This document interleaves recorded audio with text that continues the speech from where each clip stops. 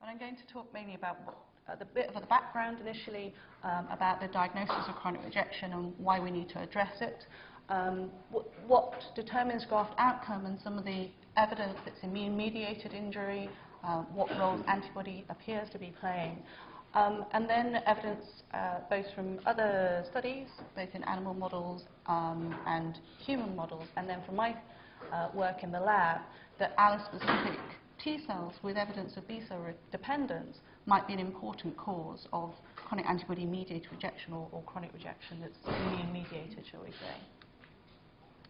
So um, if you came to this course a couple of years ago, Tony showed this slide, um, and the purpose of showing this really is to uh, demonstrate that although we've made progress in treating patients reducing acute rejection such that the graft survival in the first year has um, fallen, sorry, yes, has, fa has fallen now. So, sorry, graft survival has improved from 90% to over 95% now in the first year post-transplant.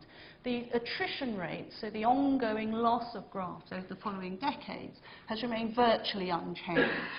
Um, so if you look here, even in the, in the lower risk patients who are the first time transplant, um, not being pre-sensitized by a previous transplant, the um, patients who have a deceased donor transplant in 1989 who were transplanted, their grafts, half of them would have lost their graft by 12 years. And that has improved slightly to 16 years. Um, but the majority of that increase has been because of, of one-year graft survival, which is due to many um, uh, things such as better HLA matching, better screening for antibody um, desensitization protocols maybe in some patients, and, and so on and so forth. Um, the, just to point out, this is projected graft survival because obviously a lot of these patients haven't had their graft for that long.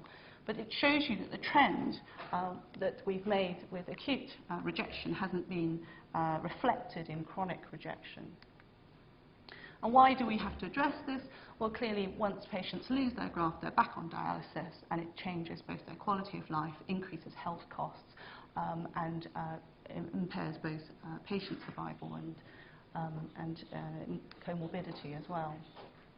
So, um, moving on really to uh, evidence. So, evidence that uh, chronic uh, rejection is antibody or immune mediated. So the reason to show this slide, if I'm going to move around because I'm finding it difficult to see what I'm talking about, um, is there are multiple factors that have been shown to be associated with chronic rejection. Many of them are non-immunological, um, but I've highlighted in red the ones that are immune-mediated and immunological. So HLA matching is very important. Um, panel reactive antibodies, this is an old slide. Of course, now we'd measure HLA antibodies, and particularly donor-specific HLA antibodies or other donor-specific antibodies. Um, episodes of acute rejection, especially uh, vascular rejection, so antibody-mediated rejection, if you like, on the biopsy, um, and late episodes of rejection, which may well be associated with non-compliance or acute cellular rejection later, or antibody-mediated rejection.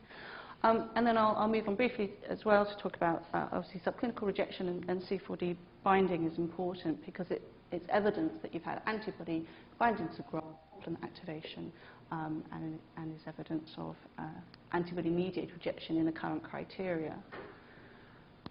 So um, this uh, is one of, two or three large studies now which have shown that uh, antibodies, the development of antibodies post-transplant are strongly associated with chronic um, graft loss. So if you test patients at a, a, single point in time and follow them up, if they test HLA antibody negative, then only 17% of those patients will lose their graft in the next five and a half years. But if you're donor-specific antibody positive, um, then almost 50% or over 50% of those patients will lose their graft over the next five and a half years. And you have this intermediate group, which is not entirely explained, in those patients who don't have donor-specific antibody, but it's HLA antibody positive, who are also at greater risk of losing their graft. Now, I'll come back to this briefly in a bit, but this is a whole cohort of patients with all levels of graft function. So you've got to remember that this isn't corrected for underlying graft function, and, and the reason that's important I'll come back to a little bit later on.